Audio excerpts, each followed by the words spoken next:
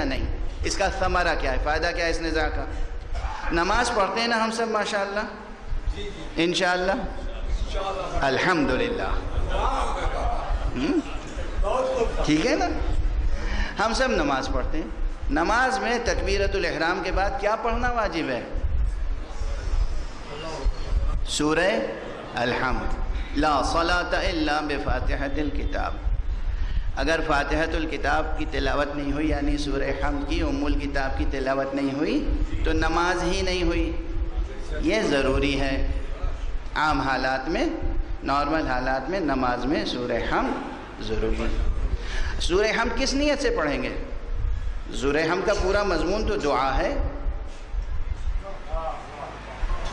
तो ये इस नीयत से पढ़ेंगे कि मैं खुदा की सताइश कर रहा हूँ।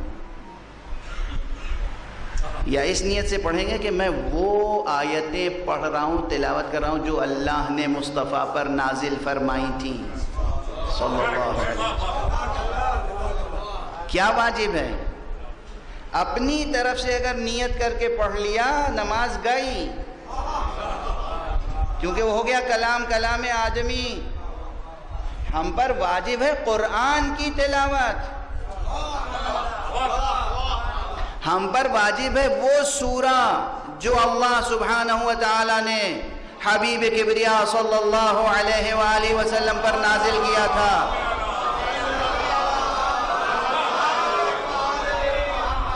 यानी ज़रूर इसमें है मौजूद अल्हम्दुलिल्लाह रब्बिल आलमीन।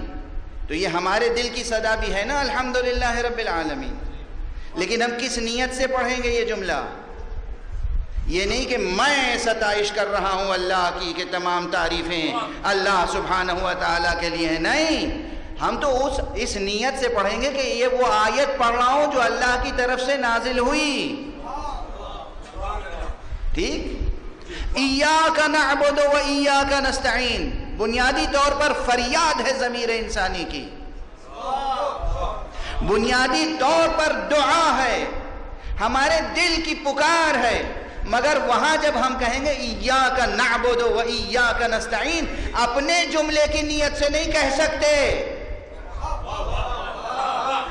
इस नीयत से पढ़ना होगा कि ये कुरान का जुमला है। अगर सिर्फ़ अपनी नीयत से पढ़ा, नमाज़ गई, क्योंकि वाजिब क्या है? आपको इरशाद नहीं फरमाना है यहाँ पे कुछ। आपको इरशाद फरमाने के लिए कुनूत है। आपके इरशाद फरमाने के लिए मौके अलग अलग हैं। आपको इस वक्त कुरान मजीद में नाजिल होने वाला सूरह हमद पढ़ना है।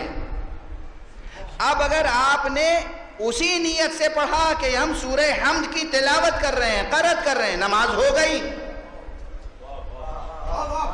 लेकिन अगर उसूल फ़िक़ में ये मुकर्र हो गया कि हर लफ्ज़ को एक से ज़्यादा मानी में इस्तेमाल करने की इजाज़त है तो आप पढ़ रहे हैं इस नीयत से कि ये आयतें कुरान की हैं, साथ में ये मानी भी मुजमर है, परवरदिगार यही मेरे दिल की सदा भी है।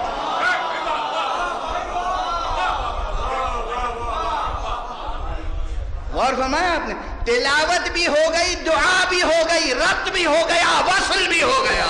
सलवात पढ़ने मोहम्मद वाले